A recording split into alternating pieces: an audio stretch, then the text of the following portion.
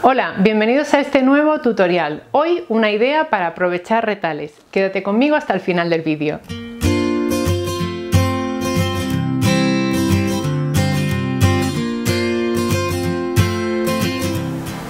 Sí, como te decía, una idea sencilla para aprovechar esos retales de tela que te sobran de otros proyectos de costura.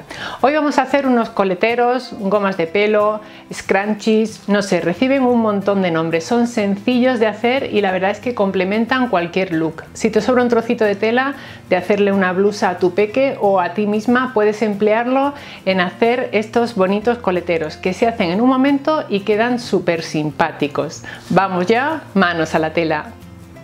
Estos son los coleteros o scrunchies o adornos de pelo, donas, como queráis llamarlo, que vamos a hacer en el vídeo de hoy. Son muy muy sencillos y puedes hacerlos con orejitas o sin ellas. Si lo vas a hacer sin orejitas, debes de cortar una pieza de tela de aproximadamente 50 por 10. Este creo que tiene solamente 48 porque no tenía bastante tela. Como te decía, 50 por 10 para hacer la parte de donde pondríamos el pelo. Y para hacer las orejitas te puedes descargar el patrón que he dejado en la casilla de información. Hay un enlace al blog con más detalles sobre el proyecto y además incluye un enlace para descargar el patrón. Si no puedes imprimirlo, las medidas que tiene, lo he hecho un poco a ojo, por eso salen unas medidas un poco raras, son 28,5 de punta a punta, 7,5 en el centro y en la parte más ancha tiene 9,8. Vamos, puedes hacerlo de 10 centímetros, 7 aquí si quieres y 29 de largo. Pero bueno, descargas el patrón, como te digo, y cortas una sola pieza de tela. Las telas que puedes usar para este proyecto son muy muy diversas. Mira, esta es una tela 100% de algodón, tipo patchwork, pero por ejemplo también puedes hacerlo en punto. Esto es un retal que nos quedaba del jersey que estás viendo en la imagen, el jersey bicolor, que es de punto Roma. Bueno, pues aprovechamos ese trocito para hacer un coletero a juego y esto es viscosa, que usamos esta tela también en la blusa con mangas de capa que estás viendo en este momento. La verdad es que hay muchísimas telas que te pueden servir, ya sean más finitas o un poquito más gruesas, como este punto por ejemplo, y puedes aprovechar tus retales. Tomamos una pieza de tela, la doblamos a la mitad y el patrón lo colocamos aquí haciendo coincidir los dobleces de la tela y del patrón y recortamos. Estoy usando para ello una base de corte y un cate rotatorio, pero también puedes cortar con tijeras. Los márgenes de costura están incluidos en el patrón. La pieza larga que necesitamos es de 50 centímetros, así que la tela doblada a la mitad. Vamos a marcar aquí 25 centímetros. Si te has fijado tengo un nuevo marcador de tela.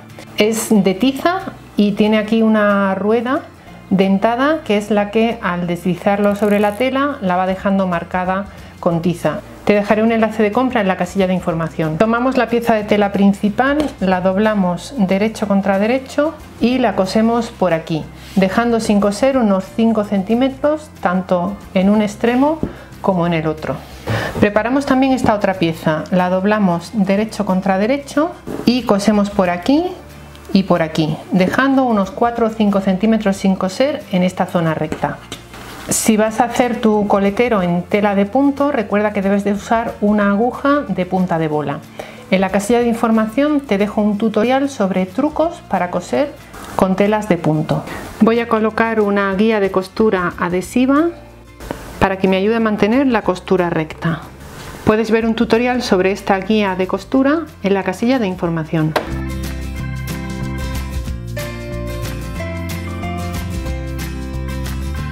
Aquí tenemos las dos piezas y las giramos del derecho. En la pieza de las orejitas cortamos primero las puntas antes de girarlo y realizamos unos piquetes en las zonas curvas. Podemos sacar las puntas hacia afuera ayudándonos de un punzón. Para cerrar esta apertura metemos hacia adentro el margen de costura, colocamos un par de alfileres y en la máquina cosemos por aquí.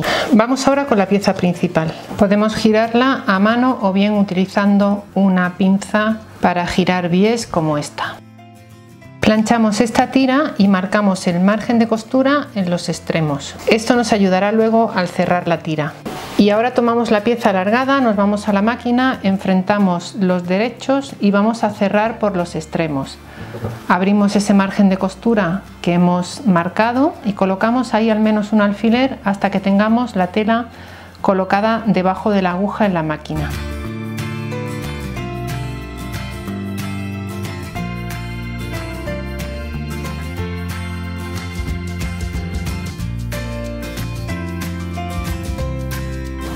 Y ahora colocamos la cinta elástica. La cantidad de cinta elástica depende un poco de la dureza de la cinta que tengas. Esta, por ejemplo, es muy muy elástica, mientras que esta otra es menos elástica. Si no estás segura de la cantidad que necesitas, es colocarla por dentro y antes de cerrar la apertura, probártela a ver qué tal queda en tu coleta.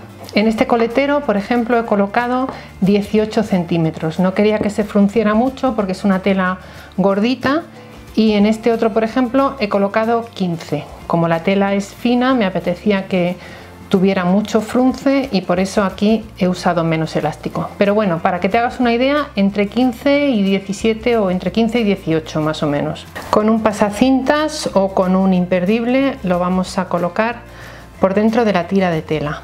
Lo metemos por aquí y fijamos con un alfiler para que no se nos cuele por dentro mientras pasamos el resto de la cinta elástica. Al llegar aquí puedes dar unas puntadas en la cinta colocándola de esta manera o bien sencillamente hacer un nudo. Y ahora nos queda cerrar esta parte. Como tenemos ese margen de costura marcado con la plancha nos va a ser un poquito más fácil. Hacemos que case primero la costura y luego colocamos un par de alfileres a cada lado. Voy a la máquina, coso por aquí. Ya lo tenemos aquí, puedes usarlo tal cual o con las orejitas. Así que vamos a colocarle esta cinta para darle el toque final.